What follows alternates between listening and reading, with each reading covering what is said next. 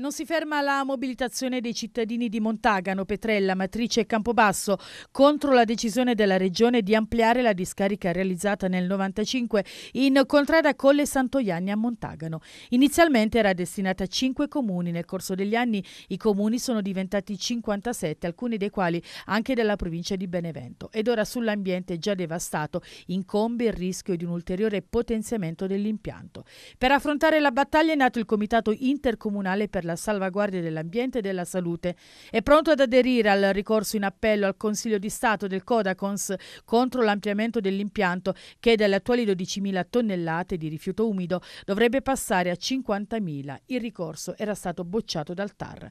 Qualche mese fa, proprio davanti all'impianto di Montagano, i rappresentanti del comitato avevano tenuto una conferenza stampa annunciando iniziative di lotta contro il progetto di ampliamento della discarica. Qualche giorno fa un incontro a Petrella di Fernina al quale hanno partecipato i cittadini e l'Osservatorio Molisano sulla legalità e Libera Molise. Sono stati ribaditi rischi per l'ambiente e per l'incolumità pubblica.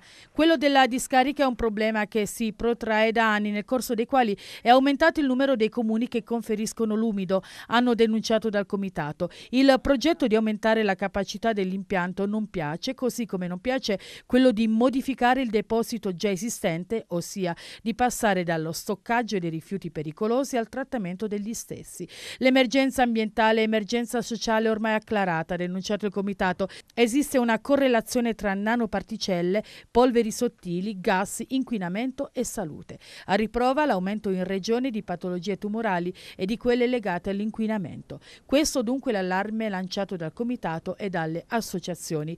Chiederanno agli organismi preposti una risposta chiara sulla valutazione dell'impatto ambientale. Chiederanno di sapere se esistano problemi per i corsi d'acqua e del suolo causati da dispersioni di percolato e se esista un rilevamento geologico del sito dove peraltro è in movimento già una frana.